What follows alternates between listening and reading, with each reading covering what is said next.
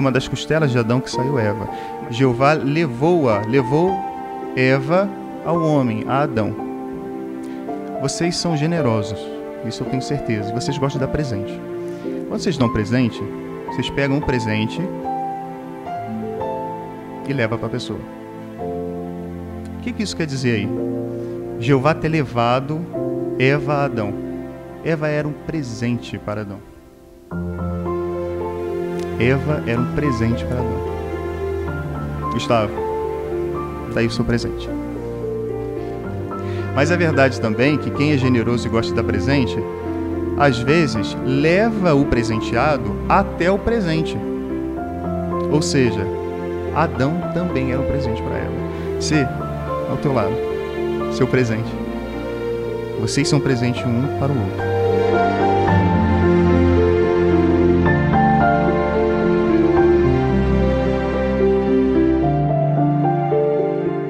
Então essa união é uma união na realidade de grandes amigos.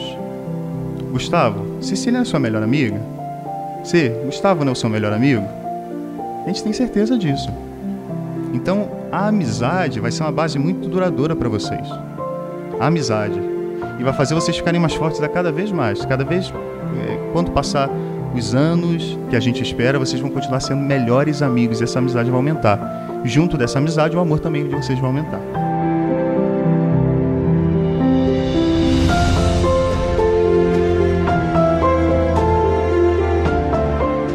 Uma frase comum que as pessoas contam aí fora, né? Diz assim, ó, ah, mas no início é um mar de rosa. Mas para vocês, o início vai ser um mar de rosa e a eternidade vai ser o oceano de rosas. Porque o amor nunca, nunca, nunca falha.